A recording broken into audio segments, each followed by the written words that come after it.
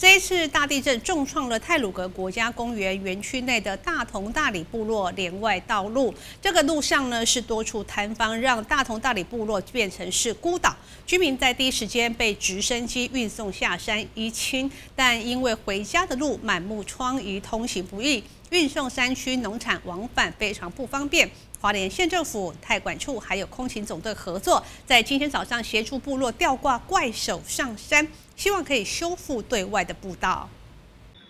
泰鲁格同里步道与林道受损严重，过去三个月来，靠着族们以及山友热心，徒手逐步修缮通往大理部落的德卡伦步道。泰鲁格同里部落自然生态自治协会理事长李慧莲表示，零四零三地震之后，唯一连外道路。卡伦步道间有六处塌方，目前已经进行清除通行。连接大同部落的萨克党林道也有八处塌方，其中三处面积相当大，人力无法清除，需要怪手从部落往下处理。海拔大大概八八九百，但是呢，我们部落族人都常常去山上啊，尤其他们培养他们的小孩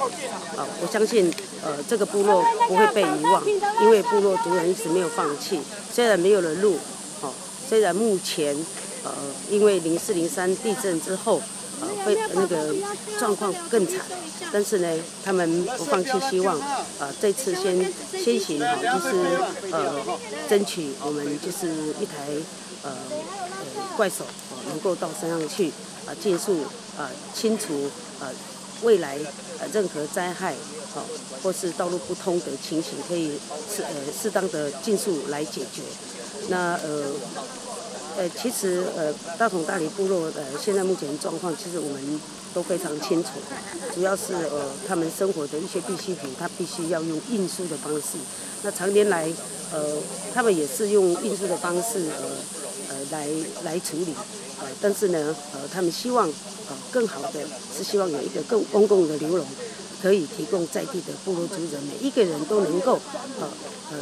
就是说，呃，用公共流动的方式，大家来互相来自自己来管理，啊，自己来解决部落的问题。李辉表示，部落决议集资购买一辆二手挖土机、轻银石头，透过换新的府乡公所、消防局、空勤总队等各个单位的协助，把怪兽分解成为三包，向军方借用专用的吊挂网，来包一草把怪兽吊网上山。很感谢这段期间众人帮忙，让部落重建工作。露出曙光。记得九很喜欢报道。